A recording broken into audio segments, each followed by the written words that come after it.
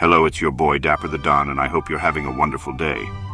Today we are going to have the conversation that most people get a misunderstanding of, and probably once again will get me in trouble. Does body count matter? Now before I start, you guys already know I have to do this because there are going to be the ones who feel offended and will start to act like I'm the next Antichrist, so let me just say, this is just the Don's opinion. You don't have to agree if it doesn't apply, please for the love of God let it fly, but who am I kidding you will manage to still b at the end of the day. Now I know the big question you guys want Don to answer, does it matter what a girl's body count is? Well, yes and no. It honestly depends on what you're looking for.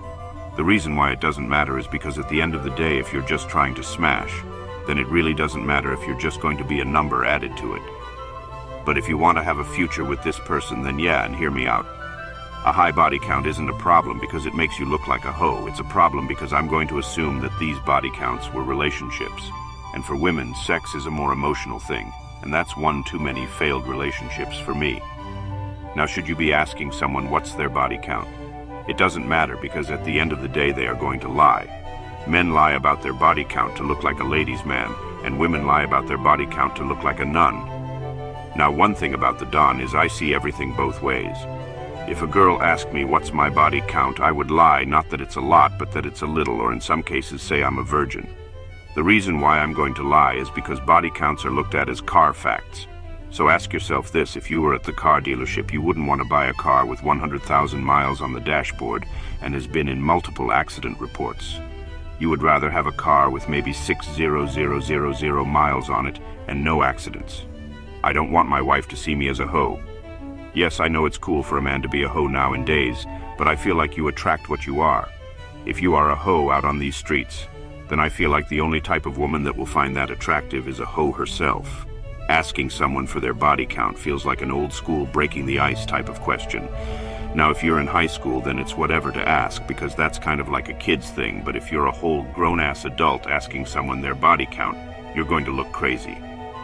That isn't even how I feel about you, it's just what I hear women say. Me personally, when I meet a girl and I want to be serious with her, I don't ask because it's kind of an out of sight, out of mind mindset thing with me. But it's different if I can't help but see your body count, for example. You have ex's names tatted on you. Or you just happen to have dated everyone I know, or there are videos of you out here with a different dude every now and then. That's when it's a problem. But again, I'm not asking what's a woman's body count. There are three other ways to find out a girl's body count without asking her what's her body count. 1. If she always has a story about an ex, she's up there because she will tell you stories about how these men are the evilest person in the world, and all but keep in mind she was letting them hit at some point. 2. If she has the mindset that all men should die because they aren't shit, then she's up there because Shawty got played so many times, and instead of healing, she's hurting. And 3. She's very open with the subject of sex. Openness in conversation is not merely a sign of confidence, it's a testament to the depth of knowledge. The wider we open the doors of discourse, the clearer the evidence of the halls of understanding we've walked through. Now me, personally, if I'm talking to a girl and I found out she's a virgin, I'm running the other way. I want the girl I'm talking with to have experience in the field. When it comes to dealing with virgins, you got to move at a slower pace because it's a big moment for them. So don't think after you go on a few dates with them that you will smash. You have to dedicate almost a whole year before they feel comfortable enough to let you pipe. And then once it's finally happening, they don't know what to do, and aren't that good at the delicacies of sex like the Gawk Gawk 3000. Now, I'm not saying I want my girl to have a Violet Myers type of body count, but I just want her to be experienced enough to know what she likes and what she doesn't like so I can move accordingly. And I know some guys will be okay with dedicating a year of their life to someone just to smash, but I'm living on dog years here, so life is too short for me. At the end of the day, the only thing you should worry about when it comes to sex and your partner is if that person has something like an STD.